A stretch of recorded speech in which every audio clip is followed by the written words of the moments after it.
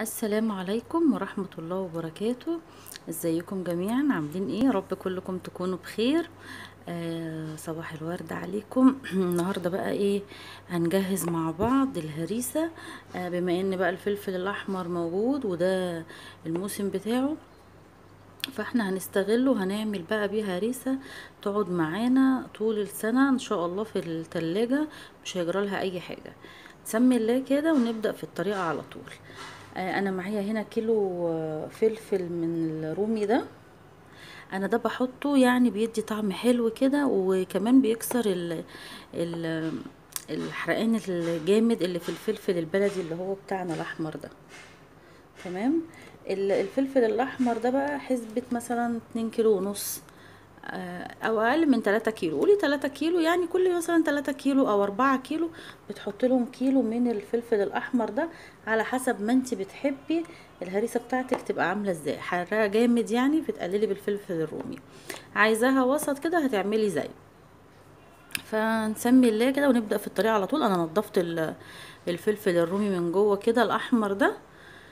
إنما بقى ال- الحامي ده في ناس بت بتخرج البذر بتاعه بس أنا مش هخرجه لأن الحرقان كله آه، في البذر ده. فأنا لو خرجته هتبقى الهريسة كلها باردة يعني. فإحنا عايزينها حامية كده وتكون إيه مشطشطه يعني. يلا أنا مجهزة ال- الكبة بتاعتي أهي وهبتدي بقى إيه أطحن ال- الفلفل بتاعي كويس قوي زي ما أنت شايفة كده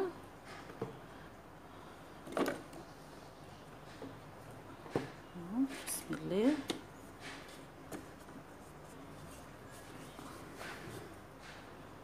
ممكن لو خايفة على إيدك من ال- الفلفل تحطي تدهني دهنة زيت كده خفيفة زيت أكل عادي.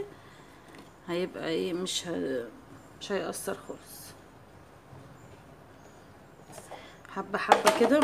بلاش نحط كمية كبيرة علشان يطحن كويس. هشغل أنا الكبة بقى بتاعتي وهفصل علشان الصوت.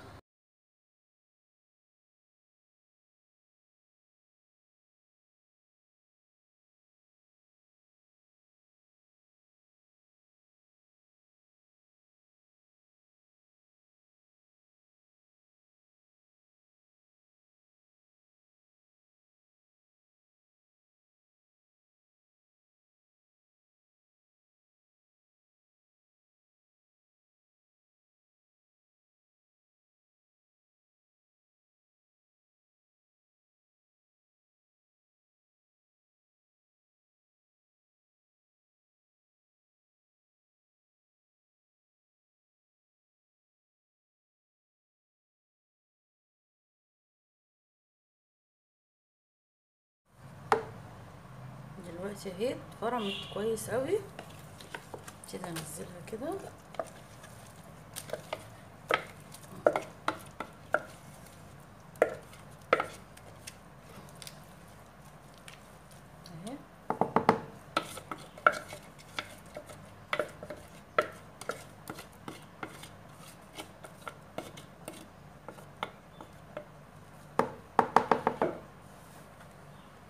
المنظر ده كده. هكمل الكمية بتاعتي وهرجع لك. خلاص كده أنا خلصت الكمية بتاعتي كلها. بصي ما شاء الله لونها يجنن من قبل ما تتعمل ونعمتها حلوة أهي كويس قوي يلا بقى نقوم نكمل بقية شغل على البوتاجاز. نحط معلقتين كده تلاتة زيت. تمام؟ سخن الزيت هنزل عليه بالفلفل. بسم الله.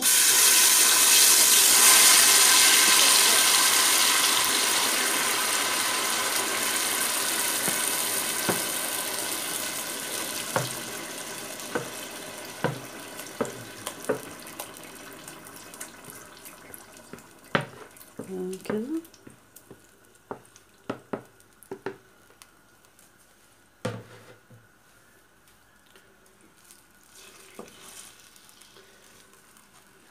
بس بقى اغطيها بقى واسيبها كده انساها شوية لغاية ما. ما تنشف من ميتها دي كويس قوي. وارجع اوريكي شكلها واقولك هنحط عليها إيه.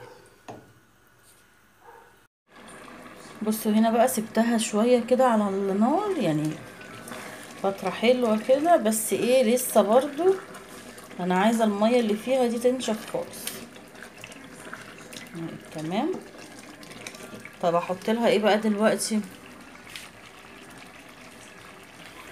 أنا هحط لها ملح وفلفل أسود وبابريكا وشوية سماق. السماق ده هيديها مزازة حلوة وهيديها طعم كمان حلو. انت تقدري تحطي فيها اللي انت عايزاه يعني نكهيها بالحاجات اللي انت عايزاها بس.